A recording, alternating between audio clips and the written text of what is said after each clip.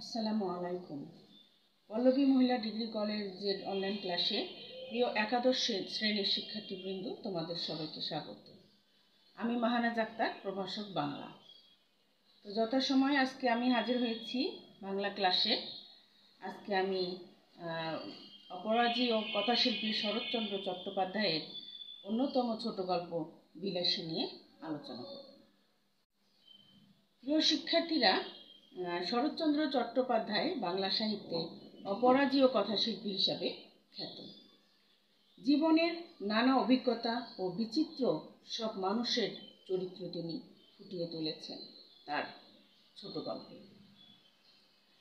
বিলাসী গল্পের কাহিনী বিবৃত হয়েছে ন্যাড়া নামের এক যুবকের জবানিতে। এই গল্পে বর্ণিত হয়েছে দুই ব্যতিক্রমধর্মী মানব মানবীর প্রেমের মহিমা যা ছাপিয়ে উঠেছে জাতিগত বিভেদের সংকীর্ণ সীমা।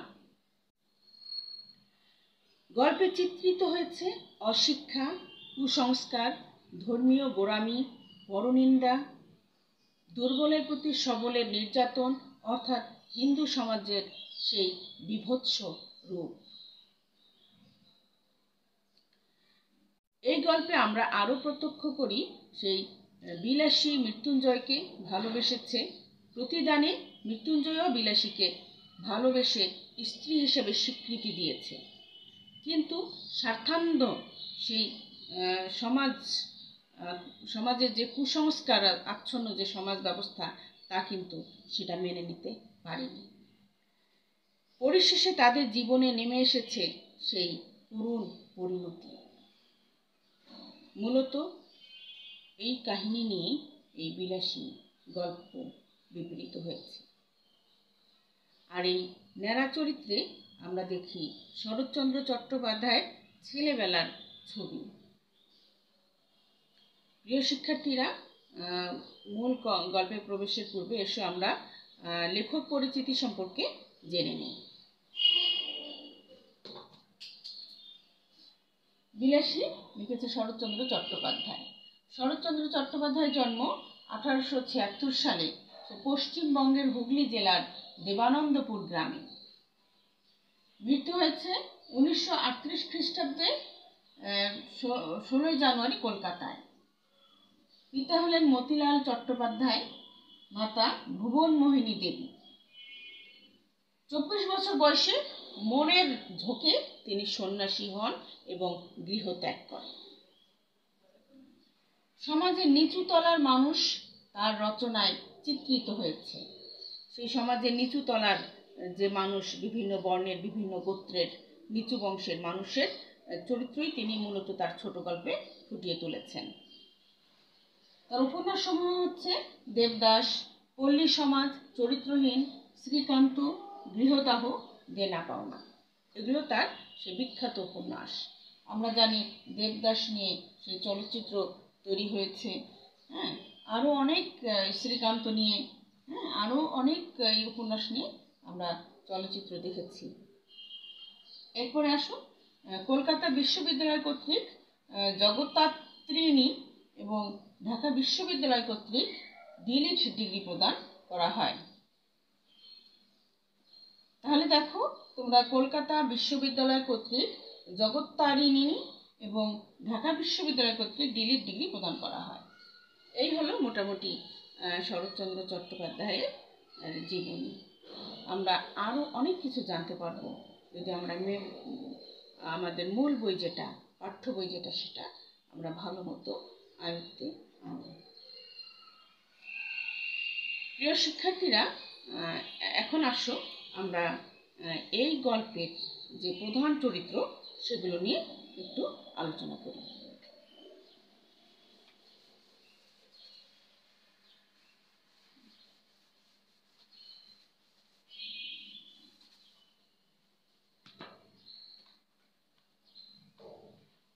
প্রধান চরিত্র বিলাসী।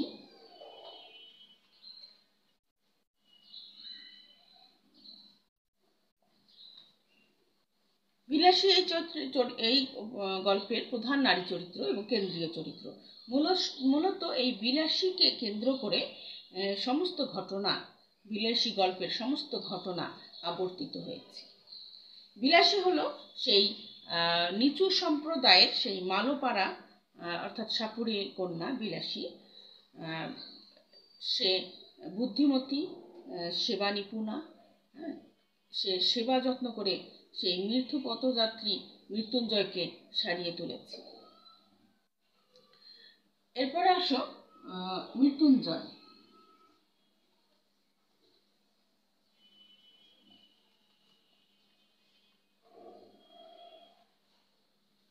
মৃত্যুঞ্জয় হলো কায়স্থ সম্প্রদায়ের ছেলে, অনাথ ছেলে। তার পিতামাতা ভাই বোন কেউ ছিল না, সে ছিল অনাথ। তার থাকার মধ্যে ছিল দূর সম্পর্কের এক গেতি খুঁড়ো আর ছিল বিরাট বড় আম কাঁঠালের বাগান। সেই আম কাঁঠালের বাগানের আয় আয় থেকে মূলত তার সংসার চলে। মৃত্যুঞ্জয় ছিল খুব উদার প্রকৃতির, সহজ সরল এক গ্রাম্য যুবক।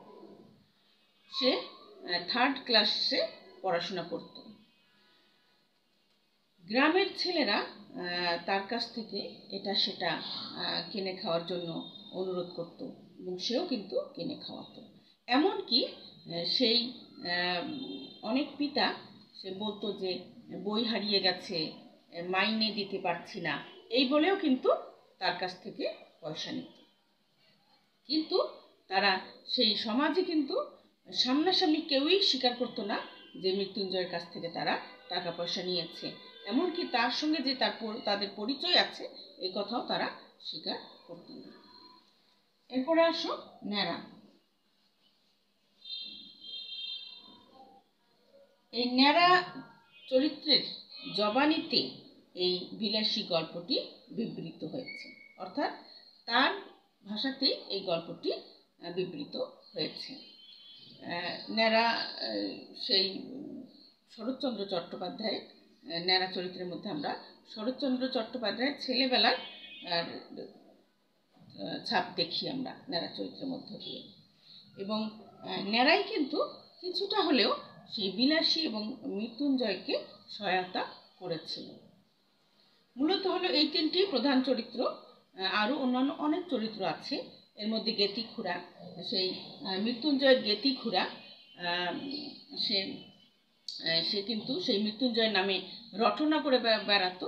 তার নামে কুচ্ছা রটনা করে বেড়াতো যে, মৃত্যুঞ্জয় গাঁজাখোর গুলিখোর ইত্যাদি নানা রকম কুচ্ছা রটনা করে বেড়াতো। এবং সে আরও বলতো যে, ওই আম কাঁঠালের বাগানের অর্ধেক মালিক সে। যাই হোক, তো এই হলো মোটামুটি চরিত্র।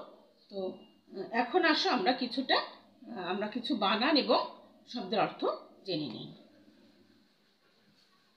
রসাতলে গেল, শব্দের অর্থ হচ্ছে অধপাতে গেল, এবং কলি পুরাণে বর্ণিত। বর্ণিত চার যুগের শেষ যুগ।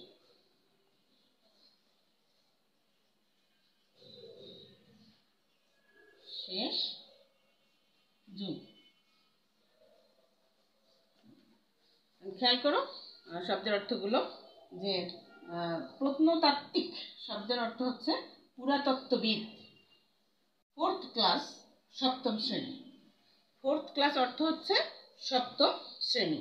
তখনকার সময় সেই মাধ্যমিক শিক্ষার শ্রেণি হিসাব করা হতো ওপর থেকে নিচ পর্যন্ত।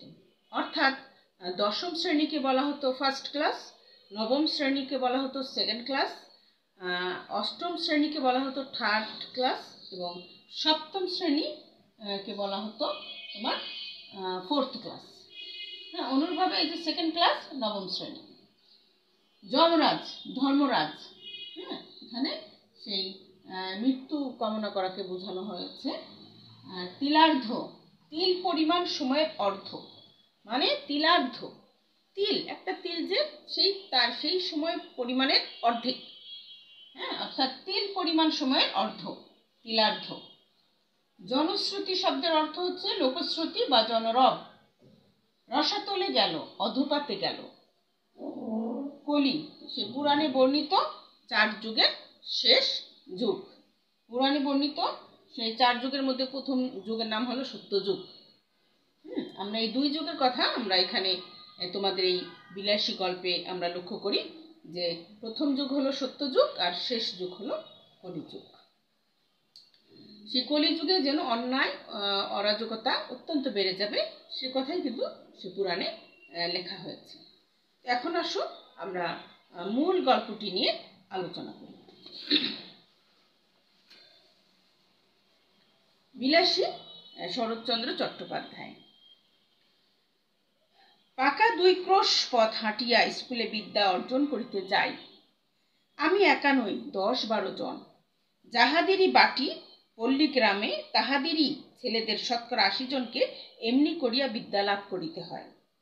ইহাতে লাভের অঙ্কে শেষ পর্যন্ত একেবারে শূন্য না পড়িলেও যাহা পড়ে, তাহাতে হিসাব করিবার পক্ষে এই কয়টা কথা চিন্তা করিয়া দেখিলেই যথেষ্ট হইবে যে যে ছেলেদের সকাল আটটার মধ্যে বাহির হইয়া যাতায়াতে চার ক্রোশ পথ ভাঙ্গিতে হয় চার ক্রোশ মানে আট মাইল নয়, ঢের বেশি।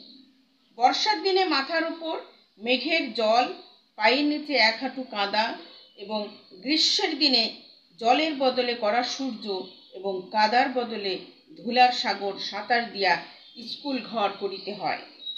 সেই দুর্ভাগা বালকদের মা সরস্বতী খুশি হইয়া বর দেবেন কি? তাহাদের যন্ত্রণা দেখিয়া কোথায় যে তিনি লুকাইবেন ভাবিয়া পান না। এখানে পাকা দুই ক্রোশ দুই ক্রোশ পথ হেঁটে সেই গ্রামের ছেলেদেরকে বিদ্যা অর্জন করতে যেতে হয়। হ্যাঁ এখানে সেই ন্যাড়া সে গল্পকথক যে ন্যাড়া, সে একা নয়, দশ বারো জন মিলে তারা যায়। যাদের বাড়ি সেই পল্লী গ্রামে, তারাই এরকম দুই ক্রোশ পথ হেঁটে বিদ্যা অর্জন করতে যায়। দুই ক্রোশ, এভাবে যাওয়া আসে চার ক্রোশ। চার ক্রোশ মানে আট মাইল। এক ক্রোশ সমান দুই মাইল। এখানে চার ক্রোশ মানে আট মাইল। কিন্তু এই আট মাইল কিন্তু সমতলে হলে যেন আট মাইল ঠিক ছিল। কিন্তু তাদেরকে যেরকম রাস্তা পেরিয়ে স্কুলে যেতে হয়, যেরকম চড়াই, উতরাই, সেই বর্ষার দিনে বৃষ্টি মাথায় নিয়ে আর গ্রীষ্মের সময় করা রোদে, তো সেই আট মাইল আর আট মাইল থাকে না, সেটা ঢের বেশি সময় নেয়। হ্যাঁ সেজন্যই লেখক এখানে বলেছে যে চার ক্রোশ মানে আট মাইল নয়, ঢের বেশি। এইভাবে স্কুল ঘর করে তারা যে কি বিদ্যা অর্জন করবে, সেটা সবাই, সবারই বোধগম্য। আর তাদের এই দুর্দশা দেখে সেই মা সরস্বতী তাদেরকে বর দেবেন কি? তিনি যেন লুকিয়ে কোথায় মুখ লুকাবেন ভেবে পান না। তারপরে এই কৃতবিদ্যা শিশুর দল বড় হইয়া একদিন গ্রামেই বসুন আর ক্ষুদার জ্বালায় অন্যত্রই যান। তাদের চার ক্রোশ হাঁটা বিদ্যার তেজ আত্মপ্রকাশ করিবেই করিবে। কৃতবিদ্যা শব্দের অর্থ হচ্ছে বিদ্যা অর্জন করেছে এমন, অর্থাৎ বিদ্যান। তো এই চার ক্রোশ পথ পেরিয়ে এই যে ছেলেদের দল যারা বিদ্যা অর্জন করেছে, তারা যে কি বিদ্যা শিক্ষা গ্রহণ করেছে, আর তারাই বা এই সমাজে যখন তারা সমাজের মাথা হবে, সমাজ গ্রামেই থাকবে, তখন অথবা ক্ষুধার জ্বালায় তারা অন্যত্রই যান। তাদের কিন্তু সেই এই যে শিক্ষাটা পেয়েছে সেটার তেজ যেন প্রকাশ হবেই। কেহ কেহ বলেন, শুনিয়াছি আচ্ছা যাদের ক্ষুধার জ্বালা, তাদের কথা না হয় নাই ধরিলাম। কিন্তু যাদের সে জ্বালা নাই, তেমন সব ভদ্রলোকই বা কি সুখে গ্রাম ছাড়িয়া পলায়ন করেন। তারা বাস করিতে থাকলে তো পল্লীর এত দুর্দশা হয় না। অর্থাৎ যারা একটু অবস্থা সম্পন্ন, তারা কিন্তু গ্রাম ছেড়ে চলে যান শহরে। সেই কথাই বলেছে। যে তাদের তো কোনো খাওয়া পড়ার অভাব নেই। তারা কেন শহরে যায়? যারা না হয় যায় কাজের সন্ধানে তারা না হয় গেল। কিন্তু যাদের খাবার, খাওয়া পড়ার কোনো অভাব নেই, তারা কেন শহরে যায়? তারা যদি এই গ্রামে থাকতো, তাহলে এই পল্লীর এত দুর্দশা হয়তো হতো না। ম্যালেরিয়া কথাটা না হয় নাই পারিলাম, সে যাক। কিন্তু ওই চার ক্রোশ হাঁটার জ্বালায় কত ভদ্রলোকই যে ছেলেপুলে লইয়া গ্রাম ছাড়িয়া শহরে পালান তাহার আর সংখ্যা নাই। তারপরে একদিন ছেলেপুলের পড়াও শেষ হয়ে বটে, তখন কিন্তু শহরের সুখ সুদে সুবিধা রুচি লইয়া আর তাদের গ্রামে ফিরে আসা চলে না। কিন্তু যাক এ সকল বাজে কথা। স্কুলে যাই, দু ক্রোশের মধ্যে এমন আরও তো দুই তিনখানা গ্রাম পার হইতে হয়। এই যে দুই ক্রোশ পথ পেরিয়ে তারা স্কুলে যায় এই দুই ক্রোশের মধ্যে কিন্তু আরও দুই তিনটা গ্রামও পড়ে। কার বাগানে আম পাকিতে শুরু করিয়াছে? কোন বনে বৈছি ফল অপর্যাপ্ত ফলিয়াছে? কার গাছে কাঁঠাল এই পাকিল বলিয়া? কার মর্তমান রম্ভার কাঁদি কাটিয়া লইবার অপেক্ষা মাত্র?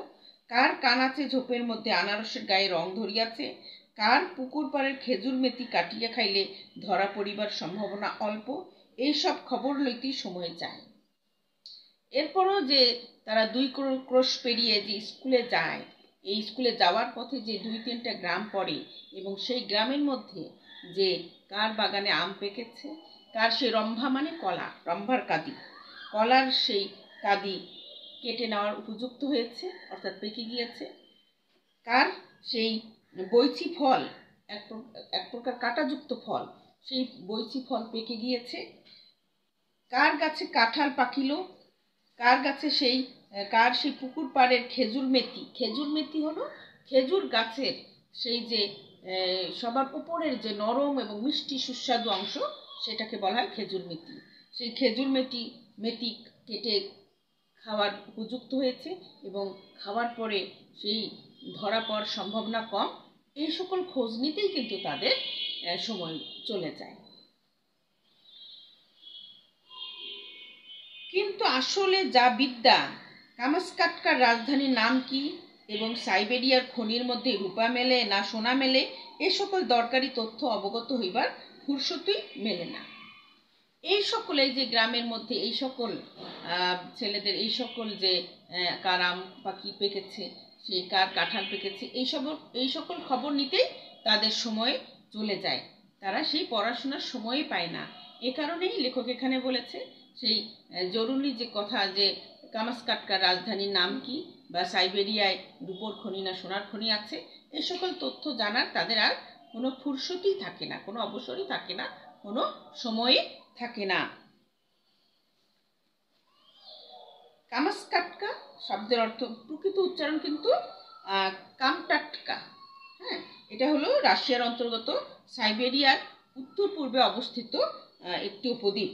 কামাসকাটকা এখানে বলেছে, কিন্তু প্রকৃত উচ্চারণ হবে কামটাটকা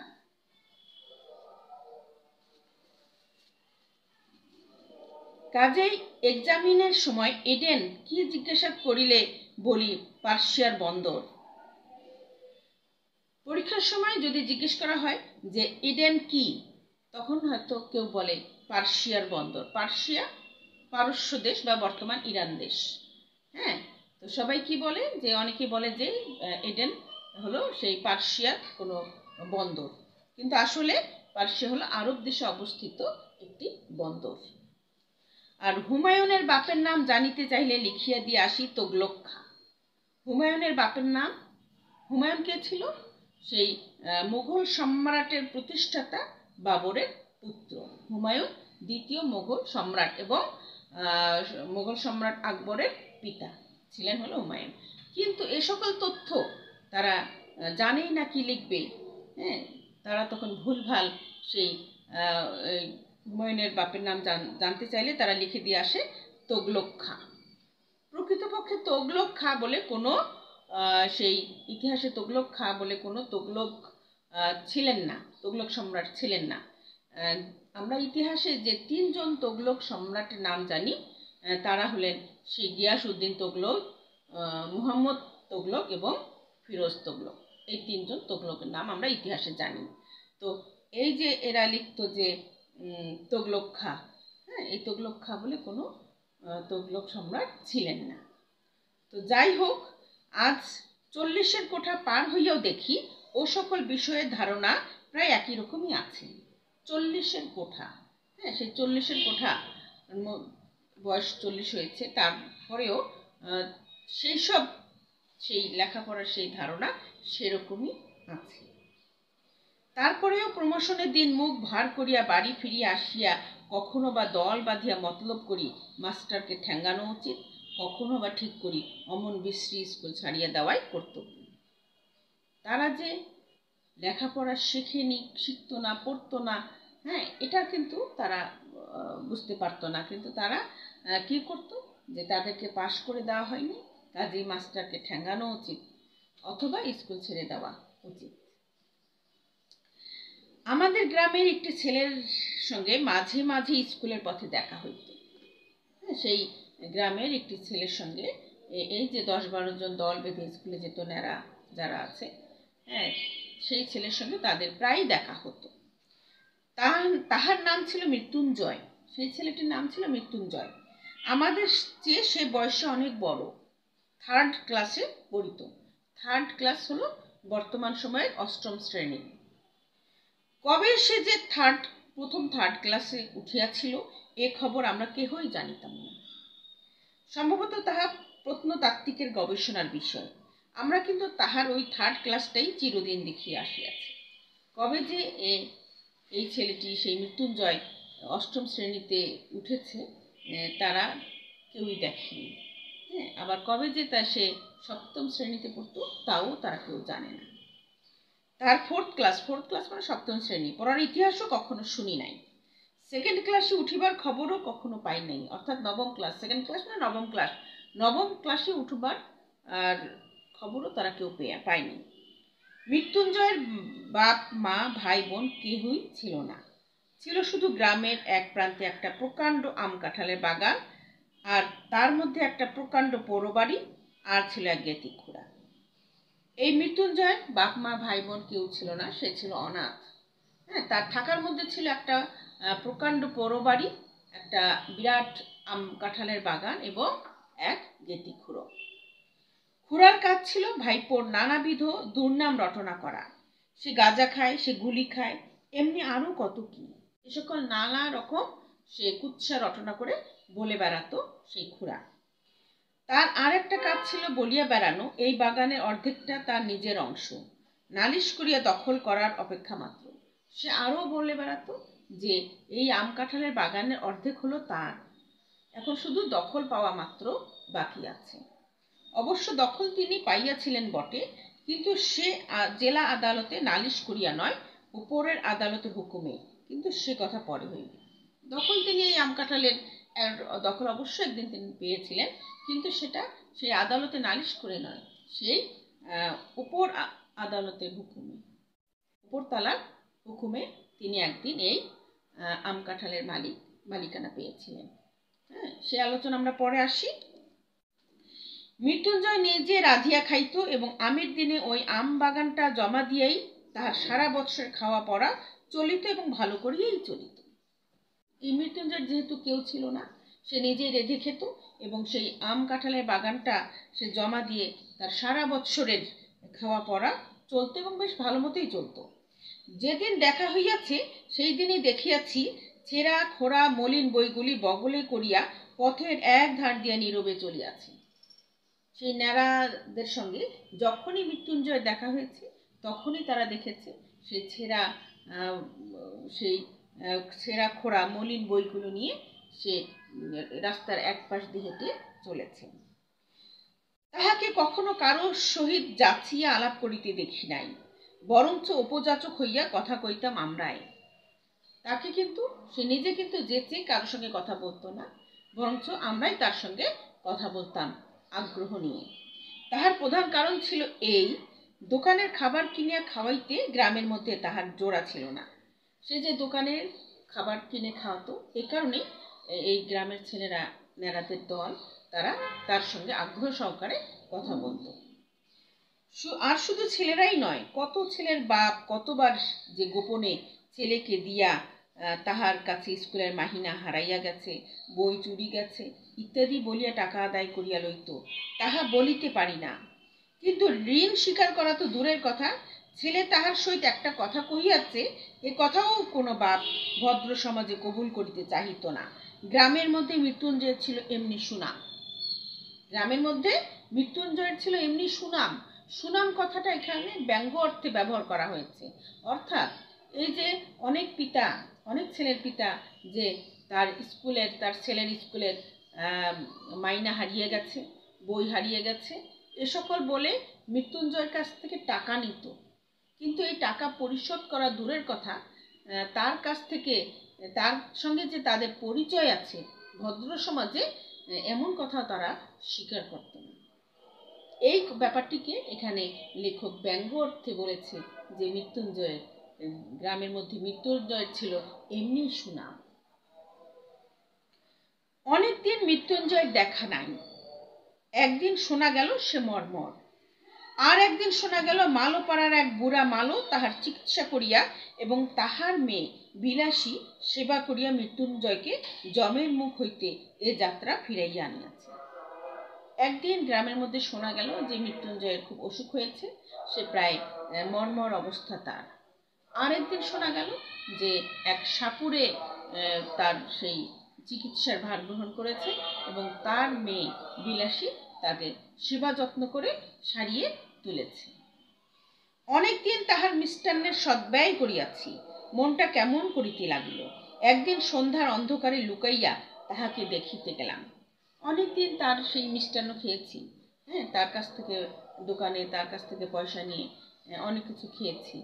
তো সেই সেই কারণে এই ন্যাড়ার মনটা কেমন করতে লাগল একদিন সন্ধ্যার বেলা অন্ধকারে লুকিয়ে সেই ন্যাড়ার সঙ্গে, সেই মৃত্যুঞ্জয়ের সঙ্গে ন্যাড়া দেখা করতে গেল। তাহার পোড়ো বাড়িতে প্রাচীরের বালাই নাই। স্বচ্ছন্দে ভেতরে ঢুকিয়া দেখি, ঘরের দরজা খোলা, বেশ উজ্জ্বল একটি প্রদীপ জ্বলিতেছে আর ঠিক সম্মুখেই তক্তপোষের উপর পরিষ্কার ধবধবে বিছানায় মৃত্যুঞ্জয় শুইয়া আছে। তাহার কঙ্কালসার দেহের প্রতি চাহিলেই বোঝা যায়, বাস্তবিক যমরাজ চেষ্টা ত্রুটিকর নাই।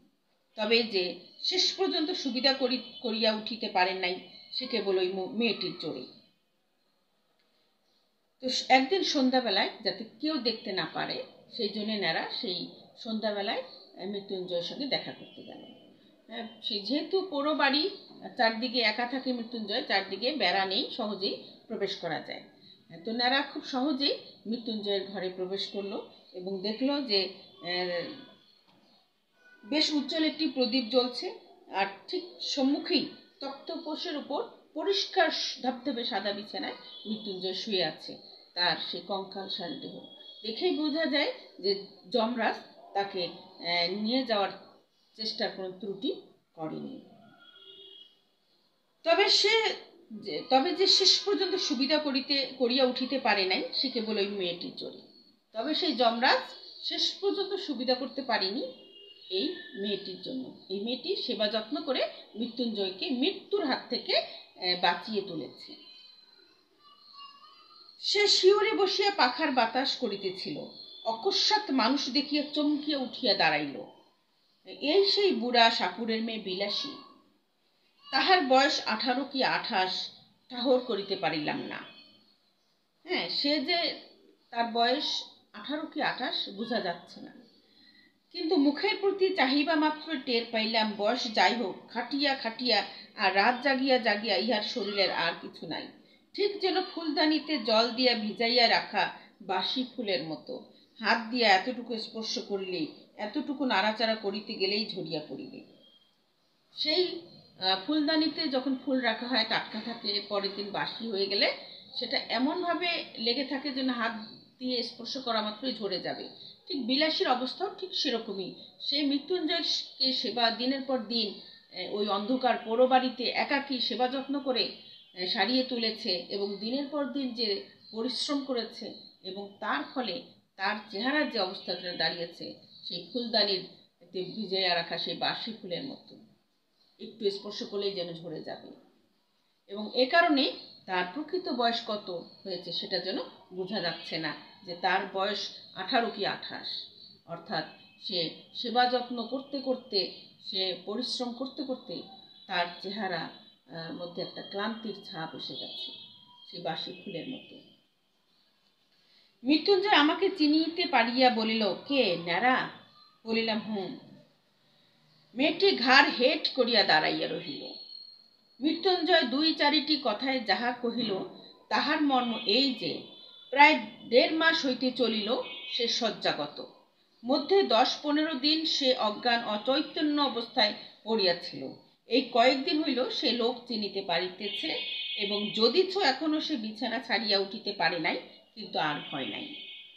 হ্যাঁ মৃত্যুঞ্জয় যে দু চারটি কথা বলল, তাহার অর্থ হলো, মর্ম হলো এই যে, সে প্রায় দেড় মাস হইতে চলিল সে শয্যাগত। এর মধ্যে দশ পনেরো দিন সে ছিল অজ্ঞান বা অচৈতন্য অবস্থায় ছিল। আর এই কয়েকদিন হলো সে লোক চিনিতে পারছে। ভয় নাই থাকুক, কিন্তু ছেলে মানুষ হইলেও এটা বুঝিলাম, আজও তাহার শয্যা ত্যাগ করিয়া উঠিবার ক্ষমতা হয় নাই। এই রোগীকে এই বনের মধ্যে একাকী যে মেয়েটি বাঁচাইয়া তুলিবার ভার লইয়াছেন, সে কত বড় গুরু ভার এই একাকী, এই বনের মধ্যে এই মেয়েটি, এই মৃত্যুঞ্জয়কে বেঁচে তোলার জন্য যেন সে গুরুভার গ্রহণ করেছে। এটা কিন্তু অনেক বড় একটা ব্যাপার।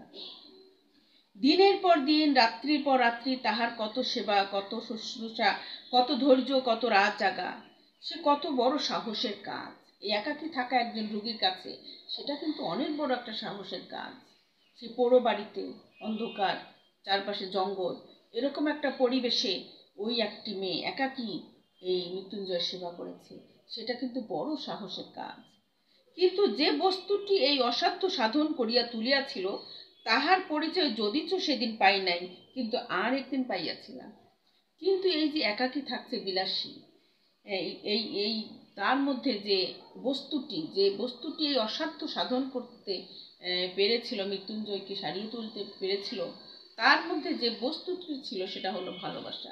এই মৃত্যুঞ্জয়ের প্রতি তার যে ভালোবাসা, সেই ভালোবাসার জোরেই তার সেই মৃত্যুঞ্জয়কে সে সারিয়ে তুলেছে এবং ওখা, ওখান সে একাকী থাকতে সে, সেই ওরকম একটা পুরো বাড়িতে একাকী থাকার সাহস জুগিয়েছে। এই অসাধ্য বস্তুটি, এই প্রকৃত ভালোবাসা মৃত্যুঞ্জয়ের প্রতি। ফিরিবার সময় মেয়েটি আর একটি প্রদীপ লইয়া আমার আগে আগে ভাঙা প্রাচীরের শেষ পর্যন্ত আসিল। এতক্ষণ পর্যন্ত সে একটি কথাও কহে নাহি। এইবার আস্তে আস্তে বলিল, রাস্তা পর্যন্ত তোমায় রেখে আসব কি? বড় বড় আম গাছের সমস্ত বাগানটা যেন একটা জমাট অন্ধকারের মতো বোধ হইতেছিল। পথ দেখা তো দূরের কথা, নিজের হাতটা পর্যন্ত দেখা যায় না। বলিলাম, পৌঁছে দিতে হবে না, শুধু আলোটা দাও। সেই অন্ধকার রাতে সেই বিলাসী মেয়েটি একটি প্রদীপ নিয়ে সে আগে আগে গিয়ে সেই ন্যাড়াকে এগিয়ে দিতে গেল। এবং কি বলল যে এই রাস্তা পর্যন্ত তোমায় রেখে আসব কি? কিন্তু সে প্রদীপটা আমার হাতে দিতেই তাহার উৎকণ্ঠিত মুখের চেহারাটা আমার চোখে পড়ল। আস্তে আস্তে সে বলিল, একলা যেতে ভয় করবে না তো? এগিয়ে দিয়ে আসব? মেয়ে মানুষ জিজ্ঞাসা করে ভয় করবে না তো? সুতরাং মনে যাই থাক, উত্তরে শুধু একটা না বলিয়াই অগ্রসর হইয়া গেলাম। মেয়ে মানুষ জিজ্ঞাসা করে ভয় করবে না তো? কিন্তু মনে যাই থাকুক না কেন আমি কি বললাম? যে না বলিয়াই সামনে অগ্রসর হলাম। সে পুনরায় কহিল, ঘন জঙ্গলের পথ একটু দেখে পা ফেলে যেও। সর্বাঙ্গে কাটা দিয়া উঠিল, কিন্তু এতক্ষণে বুঝিলাম উদ্বেগটা তাহার কিসের জন্য এবং কেন সে আলো দেখাইয়া এই বনের পথ পার করিয়া দিতে চাহিতেছিল। হয়তো সে নিষেধ শুনিত না, সঙ্গেই যাইত। কিন্তু পীড়িত মৃত্যুঞ্জয়কে একাকী ফেলিয়া যাইতেই বোধ করি তাহার শেষ পর্যন্ত মন সারিল না। হয়তো বিলাসী সেই ন্যাড়াকে এগিয়ে দিতে শেষ পর্যন্তই যেত, কিন্তু সেই মৃত্যুঞ্জয়কে একাকী ফেলে সে যেতে পারল না। কুড়ি পঁচিশ বিঘার বাগান, সুতরাং পথটা কম নয়। এই দারুণ অন্ধকারের মধ্যে প্রত্যেক পদক্ষেপে বোধ করি ভয়ে ভয়ে করিতে হইত। কিন্তু পরক্ষণেই মেয়েটির কথাতেই সমস্ত মন এমনি আচ্ছন্ন হইয়া রহিল যে ভয় পাইবার আর সময় পাইলাম না। সেই পুরো রাস্তাটাই সেই মৃত্যুঞ্জয় বিলাসীর কথা চিন্তা করতে করতেই গেল। এই কারণে তার মনের মধ্যে ভয়টা ততটা কাজ করল না। কেবল মনে হইতে লাগল, একটা মৃত্যুকল্প রোগী লইয়া থাকা কত কঠিন। মৃত্যুঞ্জয় তো যে কোনো মুহূর্তেই মরিতে পারিত। তখন সমস্ত রাত্রি এই বনের মধ্যে মেয়েটি একাকী কি করিত? কেমন করিয়া তাহার সে রাতটা কাটিত? মৃত্যুঞ্জয় কিন্তু যে কোনো মুহূর্তে মরতে পারত। কিন্তু বিলাসী তখন একাকী সমস্ত রাতটা কীভাবে কাটাতো এই মৃত্যু দেহটি নিয়ে? এই প্রসঙ্গে অনেকদিন পরের একটা কথা আমার মনে পড়ে। এক আত্মীয়ের মৃত্যুকালে আমি উপস্থিত ছিলাম। অন্ধকার রাত্রি, বাটিতে ছেলে পুলে চাকর বাকর নাই। ঘরের মধ্যে শুধু তার সদ্য বিধবা স্ত্রী আর আমি। তার স্ত্রী তো শোকের আবেগে দাপাদাপি করিয়া এমন কাণ্ড করিয়া তুলিলেন যে ভয় হইল তাহারও প্রাণটা বুঝি বাহির হইয়া যায়। বা কাঁদিয়া কাঁদিয়া বারবার আমাকে প্রশ্ন করিতে লাগিলেন, তিনি স্বেচ্ছায় যখন সহমরণে যাইতে চাহিতেছেন, তখন সরকারের কি? তার যার তিলার্ধ বাঁচিতে স্বাদ নাই। এ কি তাহারা বুঝিবে না? তাহাদের ঘরে কি স্ত্রী নাই? তাহারা কি পাষাণ? আর এই রাত্রেই গ্রামের পাঁচজন যদি নদীর তীরের কোনো একটা জঙ্গলের মধ্যে তাহার সহমরণের জোগাড় করিয়া দেয়, তো পুলিশের লোক জানিবে কি করিয়া। এমনি কত কি? কিন্তু আমার তো আর বসিয়া বসিয়া তার কান্না শুনিলে চলি, চলে না।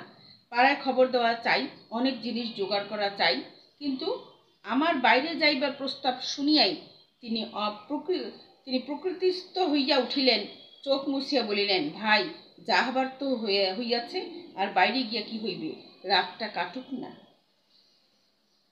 এতক্ষণ এই প্রসঙ্গে ন্যাড়া তার এক আত্মীয়ের কথা এনেছে। এই বিলাসীর গল্পের বিলাসীর সেই অবস্থাটা বোঝানোর জন্য মৃত্যুঞ্জয়, ন্যাড়া তার এক আত্মীয়ের প্রসঙ্গ এখানে তুলেছে যে তার আত্মীয় মারা গিয়েছে। সেখানে সেই আত্মীয়ের স্ত্রী এবং ন্যাড়া সেই, সেখানে একাকী ছিল। সেই আত্মীয়ের স্ত্রী নানা রকম কথা বলতে লাগল যে সে সহমরণে যেতে চায়। সে সহমরণে গেলে সরকারের তাতে কি হবে? এই অন্ধকারে তার সহমরণের ব্যবস্থা করলে সেটা সরকার জানবে কি করে? ইত্যাদি ইত্যাদি নানা রকম কথা বলতে লাগলেন। যখন নাকি ন্যাড়া সেই মৃত্যু সৎকার্যের উদ্দেশ্যে ঘর থেকে বের হওয়ার জন্য উদ্যত হলো, সেই মুহূর্তে কি বলল? যে যা হবার তা হয়ে গেছে, আর এখন রাতটা কাটুক সকালবেলা সব কিছু করা যাবে। তখন ন্যাড়া বলল, অনেক কাজ, না গেলেই নয়। তিনি বললেন, হোক কাজ, তুমি বসো। বলিলাম, আম বসলে চলবে না, একবার খবর দিতেই হবে। বলিয়া পা বাড়াবা মাত্রই তিনি চিৎকার করিয়া বললেন, ওরে বাপরে, আমি একলা থাকতে পারব যেখানে বিলাসী দিনের পর দিন ওই রকম একটা পোড়ো বাড়িতে একাকি থেকে মৃত্যুঞ্জয়কে সারিয়ে তুলেছে, যে কোনো সময় মৃত্যুঞ্জয় মারা যেতে পারত এবং মৃত্যুদেহটা হয়তো একাকী বিলাসী সেই নিয়ে বসে থাকতো, যেহেতু সে একা থাকে সেখানে। আর এখানে এই আত্মীয়ের স্ত্রীটি এত কিছু বলল কিন্তু শেষ পর্যন্ত যখন এরা সেই বাইরে যাওয়ার উদ্যোগ গ্রহণ করা মাত্রই সে বলল, ওরে বাপরে, আমি একলা থাকতে পারব না। কাজে আবার বসিয়া পড়িতে হইল। কারণ তখন বুঝিলাম, যে স্বামী জ্যান্ত থাকিতে তিনি নির্ভয়ে পঁচিশ বৎসর একাকী ঘর করিয়াছেন, তার মৃত্যুটা যদি বা সহে, তার মৃতদেহটা এই অন্ধকার রাত্রে পাঁচ মিনিটের জন্য সহিবে না। বুক যদি কিছুতেই ফাটে, সে তো এই মৃত স্বামীর কাছে একলা থাকিবে। কিন্তু দুঃখটা তাহার তুচ্ছ করিয়া দেখানো আমার উদ্দেশ্য নয়। কিন্তু তাহা খাঁটি নয় যে, নয় এ কথা বলাও আমার অভিপ্রায় নহে। কিংবা একজনের ব্যবহারই তাহার চূড়ান্ত মীমাংসা হইয়া গেল তাহাও নহে। কিন্তু এমন আরও অনেক ঘটনা জানি, যাহার উল্লেখ না করিয়াও আমি এই কথা বলিতে চাই যে, শুধু শুধু কর্তব্য জ্ঞানের জোরে অথবা বহুকাল ধরিয়া একসঙ্গে ঘর করার অধিকারী এই ভয়টাকে কোনো মেয়ে মানুষই অতিক্রম করিতে পারে না। ইহা আর একটা শক্তি, যাহা বহু স্বামী স্ত্রী একশো বৎসর একত্রে ঘর করার পরেও হয়তো তাহার কোনো সন্ধান পায় নাই। এই যে তারা পঁচিশ বৎসর একত্রে বসবাস করেছে, আর মৃতদেহটা এক রাত্রির জন্য, এক মুহূর্তের জন্য এই আত্মীয়ের স্ত্রীটি সহ্য করতে পারছে না। কিন্তু তারা একসঙ্গে থাকলে হবে কি? তাদের মধ্যে যে বস্তুটির অভাব ছিল, সেটা হলো প্রকৃত ভালোবাসা। প্রকৃত ভালোবাসা অনেক স্বামী স্ত্রী একসঙ্গে বহু বৎসর যাপন করলেও তাদের মধ্যে থাকে না, দেখা যায় না। এই প্রকৃত ভালোবাসাটা ছিল না বলেই এই আত্মীয়ের স্ত্রীটি তার মৃতদেহটা এক মুহূর্ত সহ্য করতে পারেনি। এরকম আরও অনেক উদাহরণ আছে, যারা সে অনেক দিন একসঙ্গে থাকার পরেও এই অবস্থাটাই প্রকৃত ভালোবাসাটার সন্ধান তারা পায়নি, যেটা পেয়েছিল বিলাসী। বিলাসীর মধ্যে সেই অসাধ্য বস্তু, এই অসাধ্য বস্তুটা কি সেই প্রকৃত ভালোবাসা ছিল বলেই সেই মৃত্যুঞ্জয়ের মৃত্যুটা, মৃত্যু যে কোনো সময় হতে পারত, তা সত্ত্বেও সে তাকে সেখানে থেকে একাকী সেবা যত্ন করে সেই মৃত্যুর হাত থেকে তাকে সারিয়ে তুলেছে। প্রিয় শিক্ষার্থীরা আজকে এ পর্যন্তই থাক। এর পরের ক্লাসে আমরা বাকি অংশ নিয়ে আলোচনা করব এবং নৈর্ব্যক্তিক ও জ্ঞানমূলক প্রশ্ন আর হলো অনুধাবনমূলক প্রশ্ন নিয়েও আলোচনা করব। পরের ক্লাস তোমরা অবশ্যই দেখবে। আর আজকে এ পর্যন্তই। আল্লাহ হাফেজ।